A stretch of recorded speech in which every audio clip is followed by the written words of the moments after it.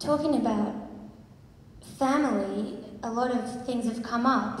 And Telmo, for example, says that family is a word that can be used to describe networks that are established or created um, spontaneously or over a certain period of time in many different locations that you can return to and rely upon those connections and those networks, and a sort of kinship can develop so you can have a, a network of people in Paris, for example, when you're living there, and then leave Paris and move to Krakow, create a similar network, and then always return to Paris and be able to immediately fall back into this family situation as a place of belonging. But um, Andrea disagreed with the idea that the word family can simply be removed from its original definition as a Christian model of something that is actually has to do with blood and lineage and property and something that is very structured in its own way and not something that can simply be lifted off an archaic definition and simply be slapped upon a new semblance of a network or something. And it kind of relates, I suppose, a lot to a picture that Helena was shown as a child in a school book in Greece. And it was a picture of a mother and a father and a brother and a sister. And it was that was the picture of a family, the model of a family. And the children were supposed to be able to identify with that model. But Helena couldn't because her family was divorced. So for her, that wasn't her family or that wasn't her sense of family. And maybe that is the model that a new definition of family, one with several fathers or several mothers or a stepfather or stepbrothers, will always have to struggle with this original model. But Ruggiero said that familiar was the adjective that we should keep in mind when talking about family. That family is a place where you feel familiar, it's something that breeds familiarity. But maybe you don't always feel familiar in your family. Like Kristen, she didn't speak to her mother for 10 years. Are they still familiar? What if you feel more familiar, for example, with the people in a nightclub that you dance to without looking at? Or what if you feel familiar to the people you work with? Or if you feel familiar to the people you meet on a club, on the internet, that you've never even had a sort of direct physical relationship with? Are the words familiar and family still connected in some inherent way? It's difficult to know.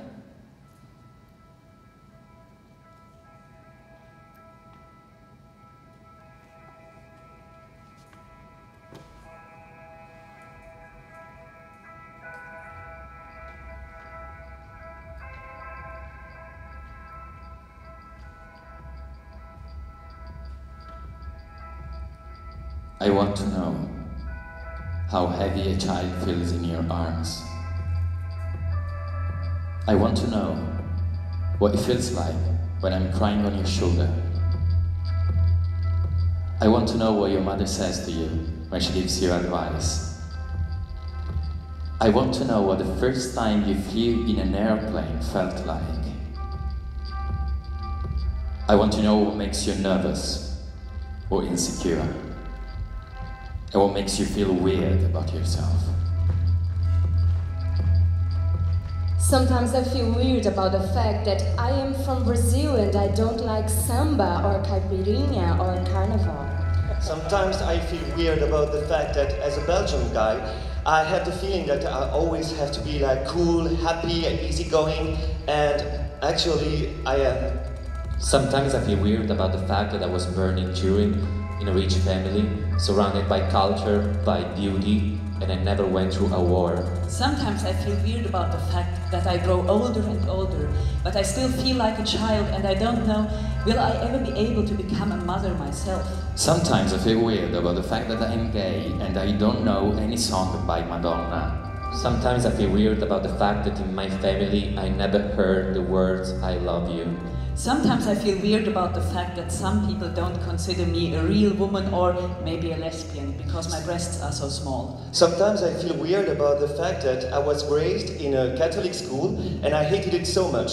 And as an adult, I still don't believe in God, but I realized that lately I named my last cat Jesus. Sometimes I feel weird about the fact that for me, Europe, it's like an amusement park that or a volcano that will explode soon. Sometimes I feel weird about the fact that I have an Italian traditional family and I feel I was adopted. Sometimes I feel weird about the fact that in my home country, the true Finns tell me to jump into the sea and swim back to Sweden, just because I belong to the Swedish speaking minority. Sometimes I feel weird about the fact that I'm supposed to choose of being top or bottom. Sometimes I feel weird about the fact that I could totally relate to Beyonce's song "Sing- Single Ladies. Sometimes I feel weird about the fact that it's five years that I'm not seeing a vagina. Sometimes I feel weird about the fact that I am not sexy. Sometimes I feel weird about the fact. Sometimes feel Sometimes. I feel my Sometimes I look like Sometimes I feel weird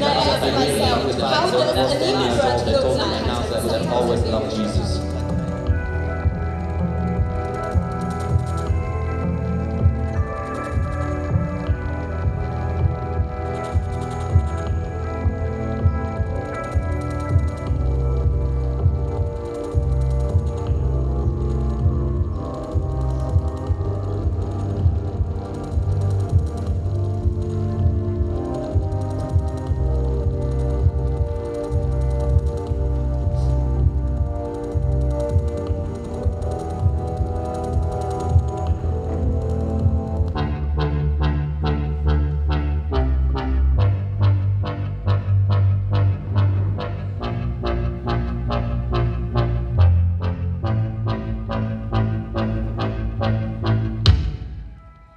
Not a model. I'm not a selfless lover. I'm not a housewife that stays at home, waiting for her husband to get back from work, telling her how stressful and exhausting the day in the office was. Non sono una suora pallida e pavida che si nasconde dietro i muri dei monasteri cattolici a fare sogni erotici. Help me? Uh, erotici sul Papa. Ok, sul Papa.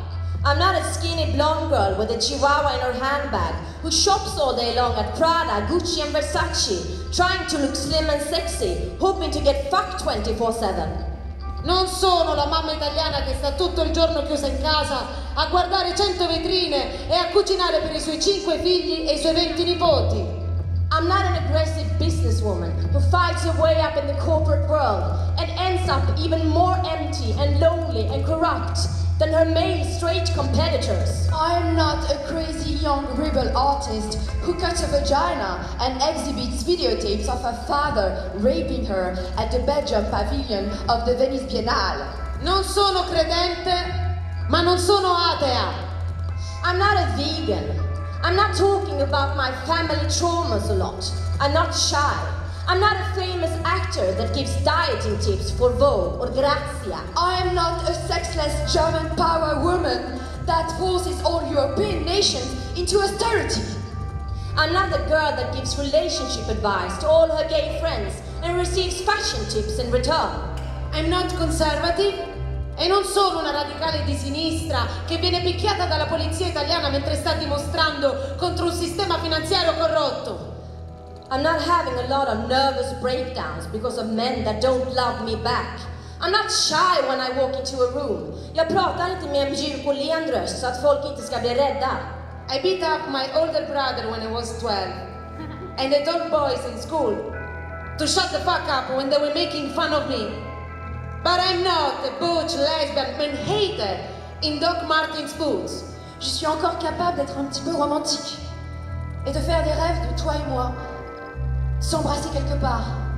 You and me kissing somewhere near the sea, or in my bedroom, or in your car, or in the toilet of the theater while a really boring show is going on, and we leave the audience because we decide that making love and feeling each other's skin is so much better than this pathetic, useless crap that they are presenting here. So, call me back. It is okay. Let's go on. I want to be with you. Now, call me, text Call me, me, call me, email text me, email Facebook me, call me. WhatsApp Do me, it, do it call now, me. do it now, do it now. Say anything, what is it doing? Let's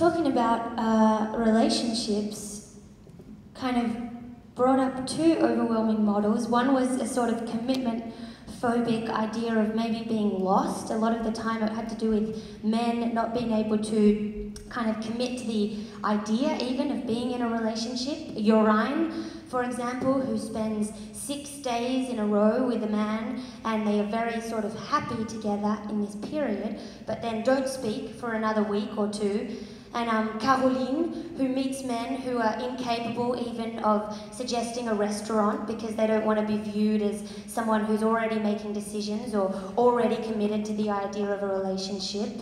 Um, there's also the idea that commitment in a, in a sense can be something that's that's too much pressure that's overwhelming like skyping every night is too intense and and then there's the the other model so that's the the pre-packaged sort of perfect relationship where both people are searching for a relationship, often online, and they have all these sort of adjectives to choose from and all these sort of ways where they can perfectly design their partner. And then these two people are supposed to come together as if they're supposed to fit together like an enzyme and a substrate, or a, a, a, perfect car that's designed just for you, or a wardrobe full of clothes that fit perfectly. But Surely, as Telmo reminded us, a relationship is supposed to be somewhere where actually you're criticized and where you're challenged and where someone makes you different or makes you justify yourself in some way. So it's a space, surely, where you should be allowed to fail. And maybe you can still be faithful to this idea of being together and being committed, but that you can still fail.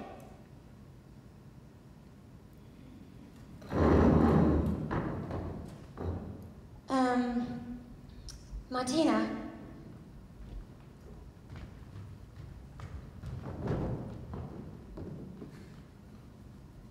Can you describe your ideal relationship? Well, my idea of relationship is not clear enough right now.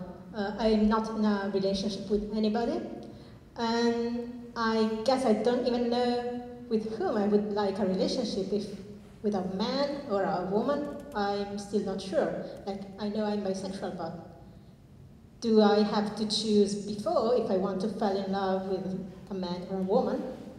And also, I'm not blood related to my family since I was adopted, so that's not a relationship, or is it? I'm always wondering. Because blood relationships are really important here in Italy. Like, we don't call them relationship. We are calling them like binding, actually. Um, so yes, relationship is something you can't really choose. Like you can't choose the people you have a relationship with because you happen to know people by chance, and even your parents or the family you grow up with. You don't really choose those people. They just come in your life, and somehow you start to connect with them and build something with them. Thank yes. you. Thank you.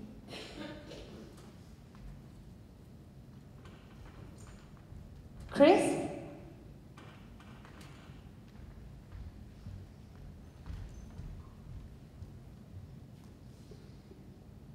Can you describe the difference between a male body and a female body?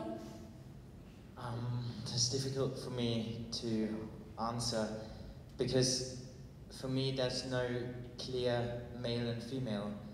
Um, it's it was given to me by my parents mostly, this idea of what male and female means. And when I was really young, like four or five years old, I remember I watched commercials and was fascinated by female toys like Barbie dolls and, and stuff, and, and I wanted to try out skirts, but I didn't really associate them with just female. And I, I asked my mother, and she said, No, you can't do that, you're a boy and you're, supposed to behave like a male. And I, I didn't really get that idea, and I, I, felt like I, I have to live up to that and, and, and yeah, please her. But later on, for me, it's more a stereotype. Like actually, male for me means a stereotypical Italian man. What's an Italian man? For me, He's macho, muscular, uh, suntanned, short hair, he's decisive, he's dominant, he's strong, and all his movements, they're really directed and pointed at something. There's no, no space. It's all really clear. Thank you.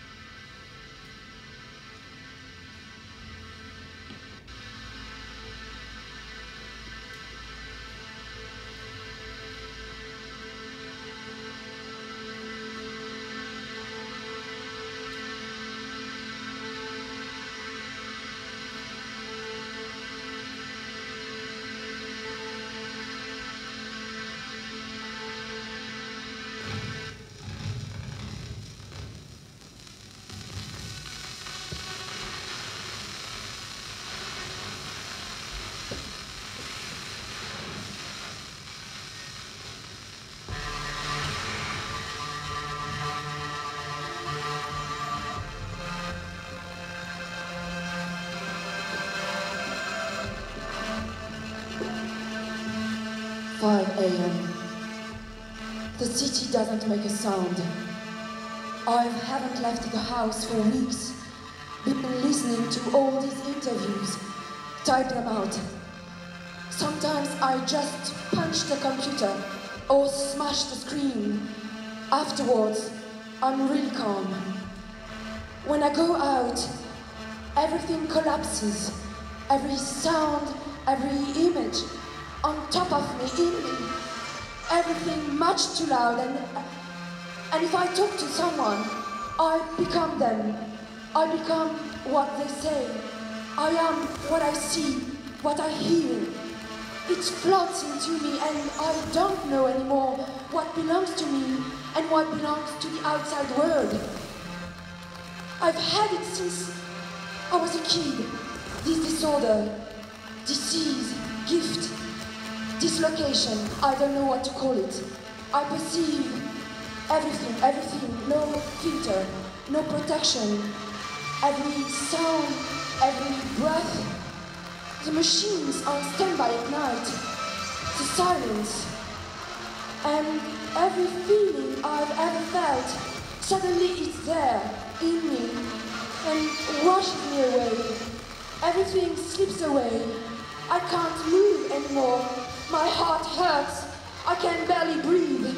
I lose all sense of belonging. Somehow, I always need to find solutions. Nuclear sets of rule guides life. But after two days, I don't remember at all why I decided for or against something. There's a body missing here.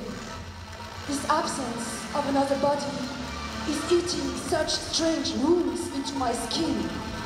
Strange. Everything is dissolving. No more protection. Gone. Kiss me. Kiss me. Now and forever. Be everything for me. Right now. Get me out of here. I have to get out of this. I can't I can't connect with anything anymore. Identify with anything. Nothing makes me feel safe, so so kiss me, but mean it seriously. Mean it seriously. Mean me, and that you can't sleep at night without me anymore. Bite hard. Hurt me. Let's become one. Here, right now. Let's tear down all the boundaries that could ever exist between people. I have to get out of this. Out of this this body, this prison. We could fuck until we bleed. Each other's lips to pieces as we kiss. But we'll never be one. That kills me. Change that. Change that right now.